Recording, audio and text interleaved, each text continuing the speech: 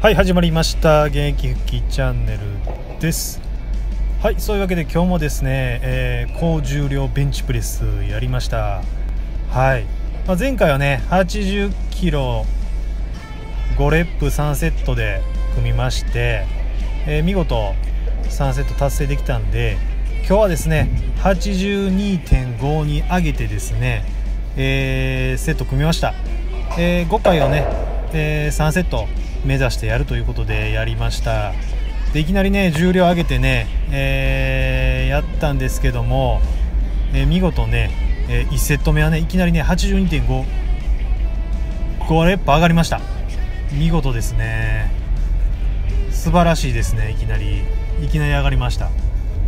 あの前回のね、え、80キロの3セット目が、ね、非常にいいフォームでねスムーズに上げれましたんでこれをねえー、中1日で、えー、そのフォームを思い出すかのようにですね1セット目からねやりました。そしたら見事綺麗に上がりました。今はねちょっとアップなんですけどねえーと、ここから1セット目入ります。綺麗にね 5,、えー、5レップ上がりました。素晴らしいですね。これでですね、えー、早見表でいくとですね82.5をゴルフ上げれてますね。推定93キロマックス上がるということで、えー、非常にいい感じで進んでます。やっぱここはね今は、え、神経系かなと思って筋量アップというよりかは筋力アップという形で集中してますのでここはまあ何週間かこれでいきたいなと思ってます。はい。1セット目ねこれ綺麗に上がりましたね。スムーズですね軌道が。しっかり入りましたね。全身に。胸というよりかも全身に入りました。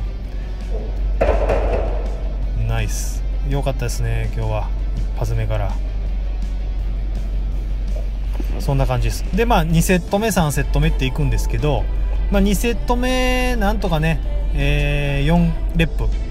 で3セット目は3レップという形で、まあ、ちょっと落ちていきましたけども、まあ、最後のね、えー、一発一発が綺麗に入ってですね力入って上がりましたね。良かったです。で今日はね、えー、胸のねこのあと胸のトレーニングですね。胸を追い込みました。今日はね、えー、フラットベンチのダンベルフライ1 8キロ。で2セット。10回2セットですね。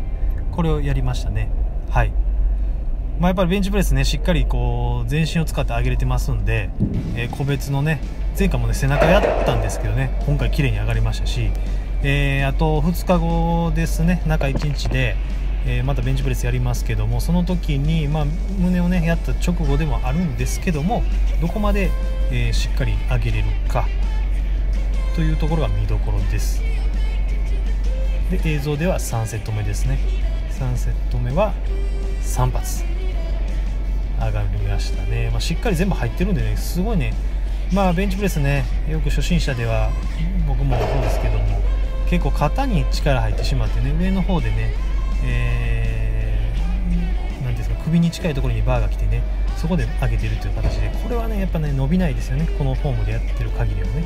それがねしっかりこうそっちに来ずね完全にきれいに、え、力が一番入るところでね、え、押せましたんで非常にいいフォームができてきてます、えーと、これね何回かね続けてねしっかり身につけた上で重量上げていくというところでギリギリなんとか100キロねいきたいなと思ってますね。はい。で映像では、えー、フラットベンチのダンベルフライですね。はい。やっております。これまあ18キロで、えー、ちょっとね軌道をね下の方の軌道をね、えー、走らせてちょっと胸のね下の方にも効くような感じでねやっております。はい。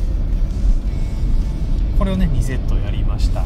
そんな感じでねトレーニング頻度は増やしてですね、えー、その通り内容はね集中して、えー、やると。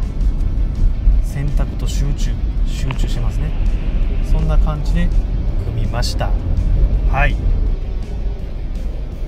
今日はねそんな感じでね、えー、トレーニングをやりました、えー、結論としては82.5をですね、えー、1セット目は5回達成ということであとは4回3回ということで、え、達成できませんでしたので3回、え、5回3セットね、え、もう1回ね中1日でもう1回挑戦しようと思います。はい。でその時には、えー、残りのね肩とね三頭筋のね、えー、メニューをその後追加してっていう形でで、えー、あと2日休むという形でやっていこうと思います、えこの勢いでね年末までに必ずベンチプレス100キロ上げますので、えよろしくお願いいたします。はい今日は以上です。